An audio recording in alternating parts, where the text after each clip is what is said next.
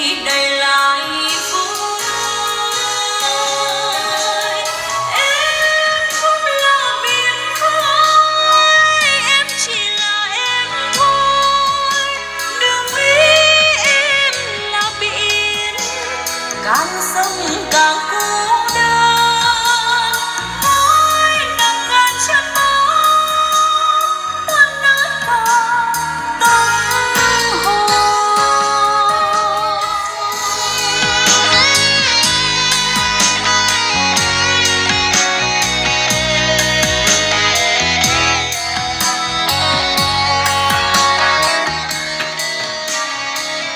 Chào các bác nhá.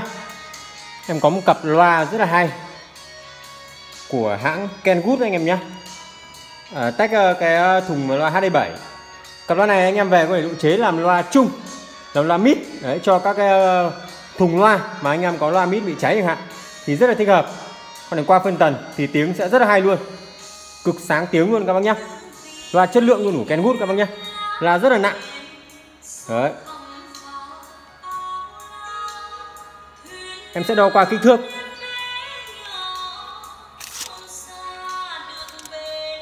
Đường kính của cái từ là 9,5 9,4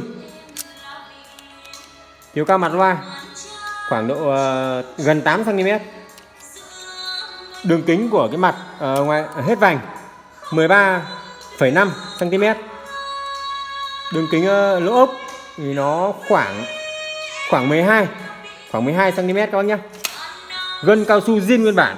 Đây gân zin nguyên bản rất là đẹp. Bằng carbon. Tiếng hay các bác nhá. Côn của con này thì chắc cũng khoảng độ 1,5 gì đấy. Đây em áng áng khoảng đấy 1,5 tất cả zin nguyên bản 100% tiếng khá là hay cao sáng.